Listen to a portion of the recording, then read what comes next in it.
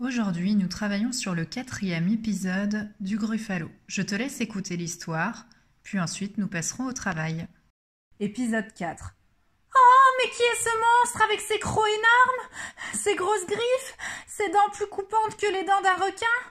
Ses genoux ont des bosses, ses orteils sont tout crochus, son nez porte une très grosse verrue, ses yeux sont oranges, sa langue est toute noire, et son dos est couvert de piquants violets.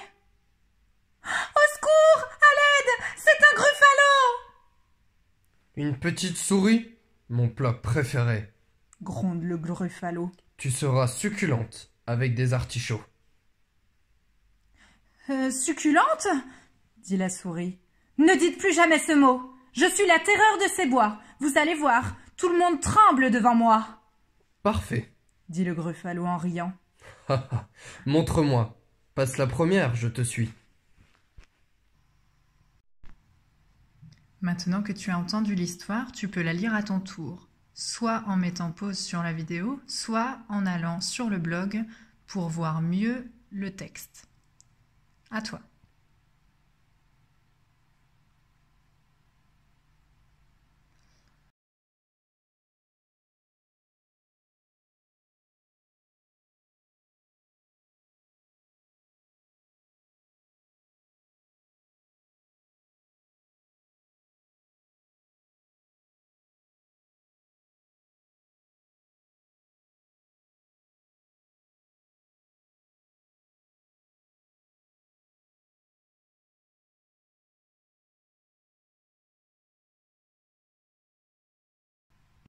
Nous allons passer maintenant au travail à l'oral.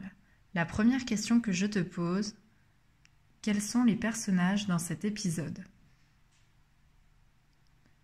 Il y a la souris et le gruffalo. Est-ce que le gruffalo existe? Eh bien oui, finalement il existe.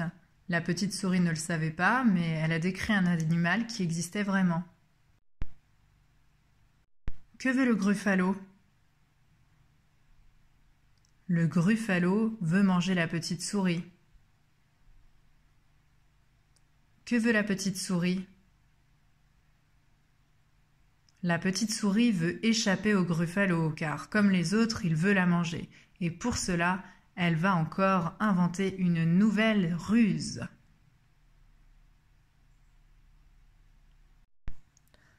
Pourquoi la petite souris dit au gruffalo que tout le monde tremble devant elle, que tout le monde a peur d'elle dans le bois? La petite souris fait croire au, au, gruffalo que tout le monde tremble devant elle, comme ça le gruffalo ne la mangera pas et elle pourra se sauver avant qu'il ne l'ait mangée.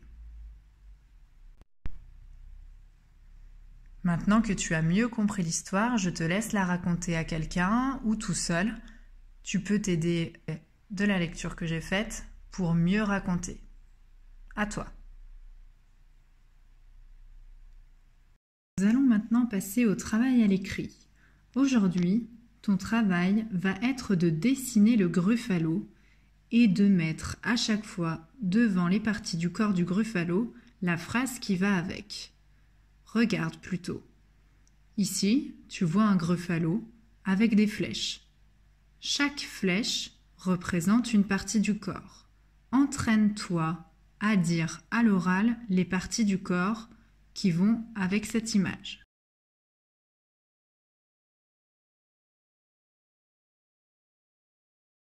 Maintenant que tu t'es entraîné à l'oral, je te montre à l'écrit toutes les parties du corps du gruffalo. Je les lis. Des crocs énormes, des grosses griffes, des dents coupantes, des bosses sur les genoux, des piquants violets sur le dos, des orteils crochus, une verrue sur le nez, des yeux orange, une langue noire. Première étape, tu dois dessiner le gruffalo. Par exemple, comme ceci. Quand tu as fini de dessiner le gruffalo, tu peux compléter le dessin en écrivant les différentes parties du corps du gruffalo. Par exemple, moi, j'ai fait une flèche vers les yeux et j'ai écrit des yeux orange. Choisis au moins trois parties du corps et écris-les à côté de ton dessin. Si tu es très courageux, tu peux écrire toutes les parties du corps du gruffalo. Comme tu peux le voir, j'ai remis la liste des parties du corps du gruffalo pour t'aider. À toi.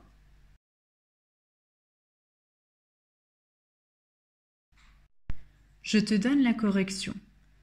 Voilà mon dessin et voilà toutes les flèches que tu pouvais faire.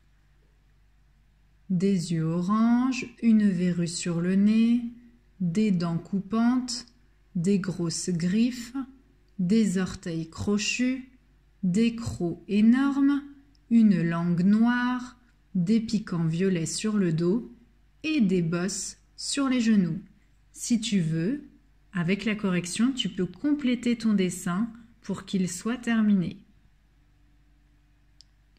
Le travail sur l'épisode 4 est maintenant terminé. Nous nous retrouvons lundi pour l'épisode 5. À bientôt!